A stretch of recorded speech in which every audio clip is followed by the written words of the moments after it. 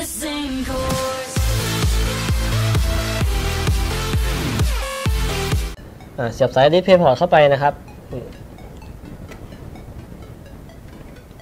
โอเคครับ เสียบเรียบร้อยแล้วนะครับ แล้วก็เอาอีกหัวนึงเนี่ยไปเสียบกับหลังจอนะครับ อ่า นี่เราก็เสียบเรียบร้อยแล้วนะครับเนี่ย DisplayPort เป็นตัว P ตรงนี้นะครับ ตรงนี้นะครับ อ่า เดี๋ยวผมจะลองมากดปุ่มแรกเลยนะครับ ว่าปุ่มแรกเนี่ยมันคือปุ่มอะไรนะครับ กดดูครับ ชึบ อ่าปุ่มแรกคือ Picture Mode นะครับก็คือปรับโหมด FPS โหมด Gaming โหมด Movie นะครับโหมดดูหนังโหมดแต่งภาพเนี่ยก็คือสามารถปรับได้นะครับนี่นั่นน่ะปึ๊บ FPS 1จอครับเหมือนเวลาเราเปลี่ยนโหมดจอมันจะเหมือนมันมันตั้งค่ามันก็โผล่มาทีนึงอะไรอย่างนี้นะครับ ต่อมานะครับปุ่มที่สองครับเป็นปุ่ม Color Balance นะครับเดี๋ยวผมจะลองปรับให้ดูนะครับ ว่าสีมันจะเข้มแค่ไหนเพื่อนสังเกตดูรูปตรงนี้นะครับนี่ก็คือแบบโอ้โหสีมันส้มขึ้นนะผมจะลดตัวให้ดูครับ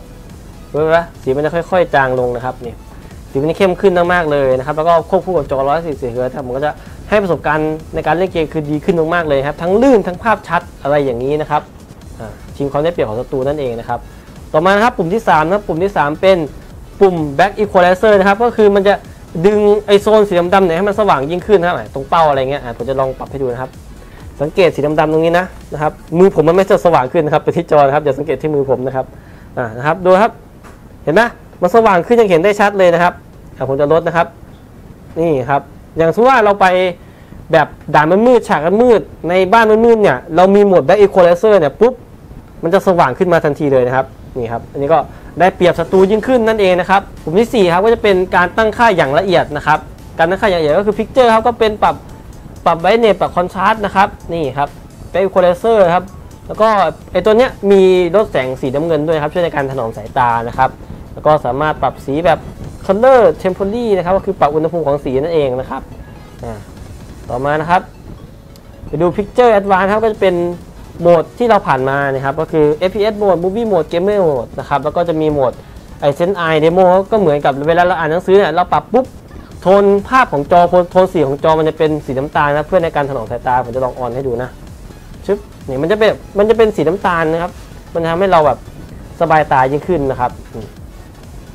ก็เป็น display mode ครับ display mode ก็คือมันจะย่อจอเป็น 17 นิ้ว 19 นิ้วอะไรอย่างเงี้ยครับมันจะบึ๊บลงมาอย่างเงี้ยนะครับอะผมจะลองปรับให้ดูเป็นตัวอย่างนะครับเป็น17 นิ้วครับปึ๊บดูมันสลับนะครับ นี่มันก็จะเล็กลงมาอะไรอย่างนี้นะครับนะครับ กลับไปโหมดเดิมนะครับ ต่อมานะครับต่อมาเป็นโหมด save setting นะครับก็จะเป็นเหมือนเป็นเป็นโหมด manual นะครับเป็นโหมด manual แล้วเราก็ save setting ไว้เกมเมอร์หนึ่งเกมเมอร์สองเกมเมอร์สามมันสามารถตั้งค่าได้เช่นกันนะครับ ต่อมาครับเป็นโหมด audio มันยังปรับไม่ได้นะครับ เพราะว่าเรามันยังไม่ได้เสียบหูฟังด้านข้างจอฝั่งซ้ายนะครับ มันจะอยู่ฝั่งนี้นะครับ ผมได้รีวิวไว้ตั้งแต่แรกแล้วนะครับ ต่อมานะครับเป็นโหมด setting นะครับเอ้ยไม่ใช่ดิ system นะครับ system นะครับ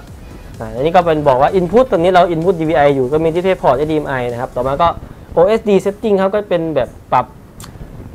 เมนูเป็นภาษาอังกฤษปรับ dictate time OSD lock อะไรอย่างนี้นะครับ ต่อมาครับเป็น custom key custom key เนี่ย ก็คือเพื่อนๆจำได้ไหมครับปุ่มแรกครับ ปุ่มแรกก็เป็นปุ่ม เป็นปุ่ม picture mode นะครับ ปุ่มที่ 2 ก็คือ custom key 2ก็คือ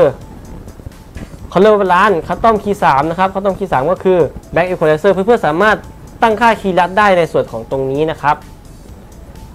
แล้วก็เป็น HDMI audio switch นะครับ อันนี้ก็ไม่ได้เราไม่ได้แบบสลับ audio ครับสมมติว่าเราเสียบหูฟังเนี่ย เราสามารถมาสลับ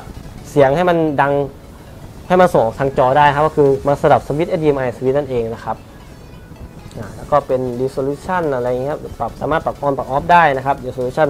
note นะครับต่อมา information ต่างๆครับก็แสดงว่าอจอตัวนี้เป็น Full HD รุ่น XL241T ก็จะบอกรายละเอียดในส่วนตรงนี้ครับ แล้วก็ตรงนี้เป็นปุ่ม reset all reset ทุกอย่างเลยครับให้เหมือนค่าโรงงานที่เราซื้อมาใหม่ๆ ในกรณีเพื่อนๆตั้งแล้วโอ้ยมันไม่โอเคมันมั่วไปหมดแล้วนะครับ เราก็สามารถตรงนี้ได้ครับกดปุ่ม reset all เลยนะครับ เนี่ยนี่ก็เป็นฟีเจอร์ต่างๆครับเดี๋ยวเราลองมาเล่นเกมจริงเลยดีกว่าว่า พอเล่นเกมจริงๆแล้วเนี่ยเป็นยังไงนะครับอะ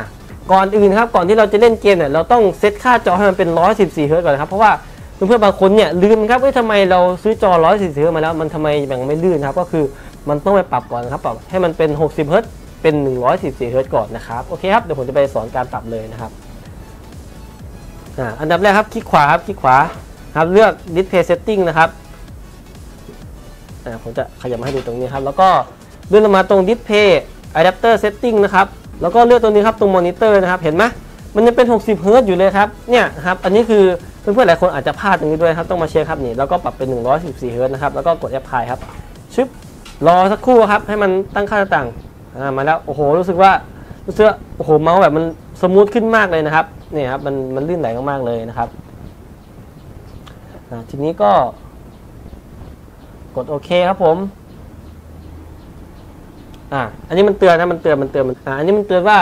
ให้ใช้สาย DVI-D แบบ Dual Link นะครับ เพื่อที่จะทำให้จอมันทำงาน 144 Hz อย่างเต็มที่ครับ อันนี้เพื่อนๆต้องสังเกตที่สายด้วยนะครับ ต้องเสียบสาย HDMI หรือไม่ก็ DisplayPort แล้วก็ถ้าเป็น DVI ต้องเป็น DVI-D แบบ Dual Link นะครับ มันถึงจะรองรับ 144 Hz อย่างเต็มที่นะครับ ต้องดูดีๆด้วยนะครับ เนาะโอเคครับเดี๋ยวผมจะลองมาเล่นเกมให้ดูนะครับว่ามันเป็นยังไงพอเล่นแล้วนะครับ อ่าครับทีนี้พอเพื่อนๆจะเล่นเกมแล้วเฮ้ยทำไมเสียงไม่ออกครับ ผมจะมาสอนวิธีแก้นะครับอ่ากดตัวนี้ครับกดปุ่มปุ่มลำโพงตัวนี้นะครับแล้วเลือกอะอันนี้สังเกตเห็นไหมครับมันเขียนว่า s o v i XL 2 4 1 1เนี่ยก็คือตอนนี้มันเป็น